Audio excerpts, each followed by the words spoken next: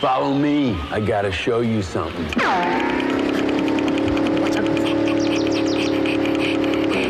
Hey, check this out. This is where I was during the harmonic convergence. And you know, I'm sitting in here and I'm thinking to myself, what's Elton John think about Joe Piscopo? And then, bingo! A fat, insecure, music-loving nerd. Whoa, what's Joe think about that? Do I look like a pig?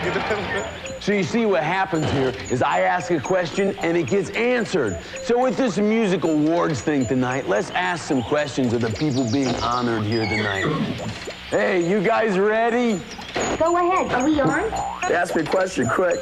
Relax, Mr. Roth. My first question is to Cyndi Lauper. Ms. Lauper, how do you feel your music affects the world? I have a, a desire to communicate and and and um and Yeah. and and um Hold that thought.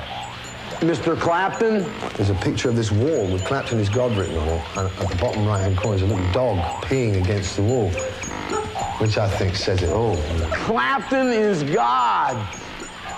See, it's so obvious that it's not true. But who is it? The big fat guy who vomits all over the place. Who is this force that makes the grass grow up to meet the air coming down? Who? Me! Can't you tell? Tina Turner? I never knew that. That's great. Tina Turner is God.